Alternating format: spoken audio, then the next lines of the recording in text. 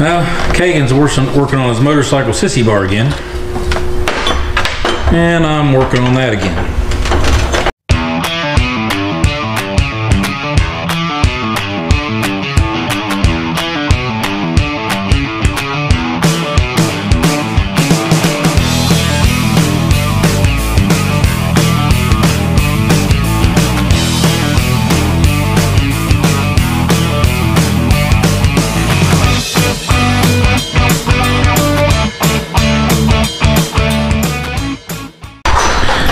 Okay, so first things first.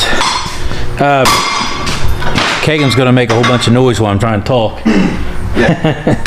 so, Much as I possibly can. so on this engine, and you guys seen the log manifolds I made, that uh, I'm gonna be using studs to stud the flange to the engine. So now, there's a little bit of an issue with that is, is um, if you're looking for uh, exhaust manifold bolts for one of these uh, IDI motors, and of course the uh, the exhaust manifold, the factory manifold, actually is a lot thicker where it bolts the engine, and these flanges are only like quarter inch plate steel.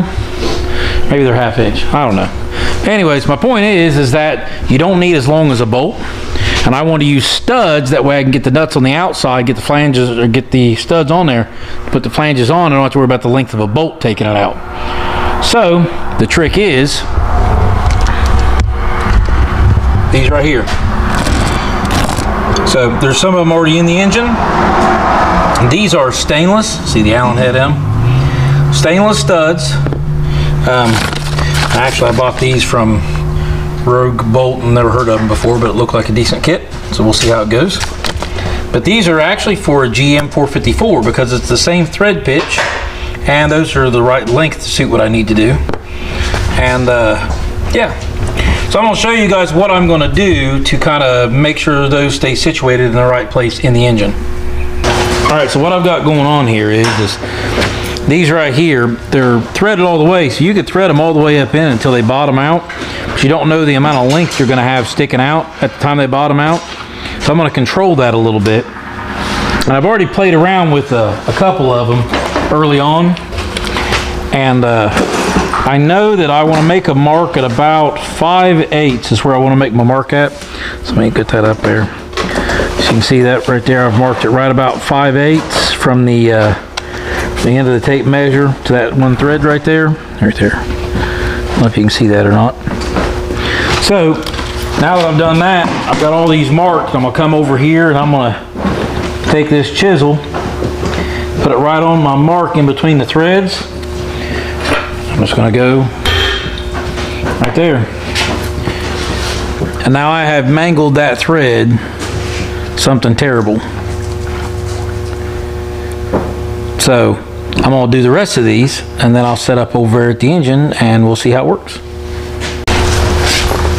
Okay, so the next trick is, is these are stainless, that's cast iron. What I wanna do is put a little anti-seize on the end of these as I go stick them in because, you know, don't want to seize up if I ever pull them out. I hope not to ever have to pull these out, but you know how that goes. So,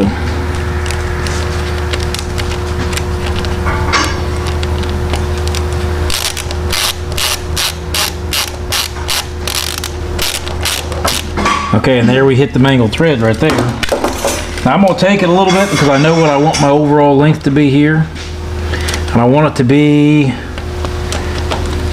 it's really close. Right there, that's what I want. So, so I'll do another one. We'll go all the way across through there.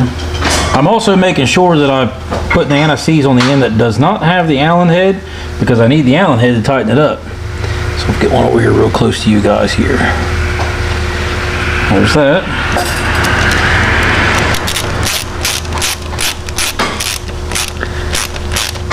Okay, then we just hit. So now I'm going to measure that again and need to take out a little bit more.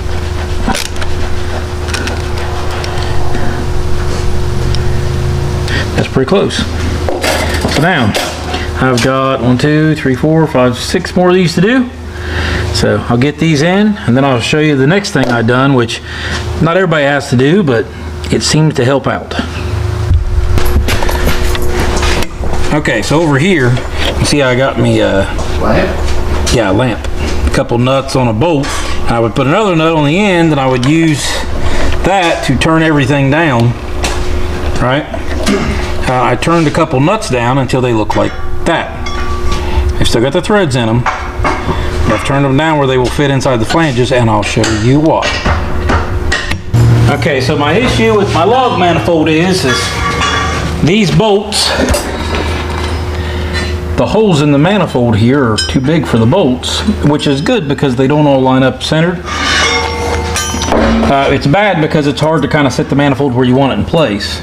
And so I'm going to run everything on here off of the, uh, we'll call it the back bolt. So I'm going to take that one and thread it up on there all the way. I can do this right there, just by finger. And so the next problem I'm gonna have is seeing which one of these is close enough to being centered. And it looks like probably this one here.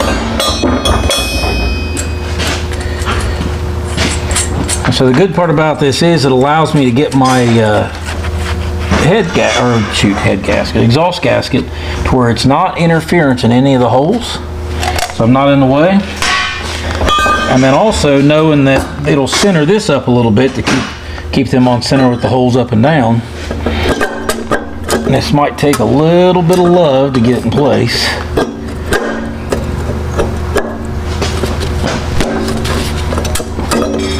And again, that might not work at all. I might have to make one just a little bit smaller. So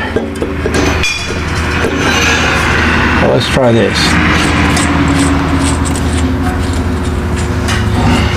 May go uh, clean this one up a little bit. It's got a rim on it. Okay, so I cleaned it up a little bit and actually moved it back one because I think it'll line up better. So get that one started on. And then on there. So I'm gonna get my nut back here on the back one because that's the one I'm trying to run everything off of.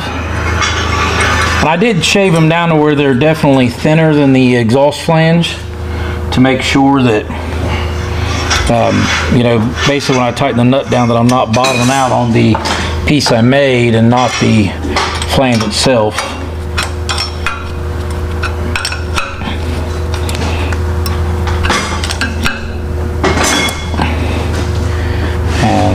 There's that. Now I'm using the old flanges right now, um, mainly because I'm wanting to build everything off of it. I've got new flanges, but I don't want to, or not new flanges, but new gaskets, because I don't want to crush the gasket until I'm ready to crush it for the last time, and then I'll put the new ones on.